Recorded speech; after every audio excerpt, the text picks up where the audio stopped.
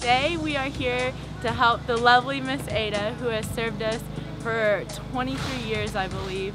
Miss Ada has been a special part of camp, a special part of our camp family for a long time. This is the least that we can do to give back to her and show us, show her how much uh, we care about her, love her, and how much she means to camp. She's done everything from giving me extra cookies to extra loving. Miss Ada has done so much for us that we need to love her back, and so being uh, serving her is really important for all of us and for camp as well.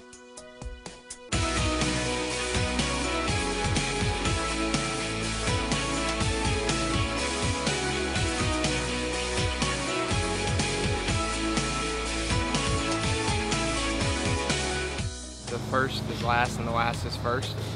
And Miss Ada has been, has put herself last at camp for a long time to, uh, to serve us. This doesn't even compare to how much uh, Miss has done for us. I think it's important to be a servant because um, I believe the Lord made us to be servants. Jesus himself humbled himself and um, came down and served others around him, washed people's feet.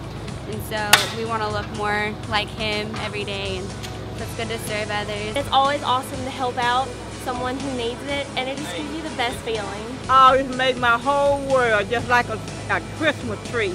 We love you. We love you. We love you. We love you, Miss Ada. We love you, Miss Ada.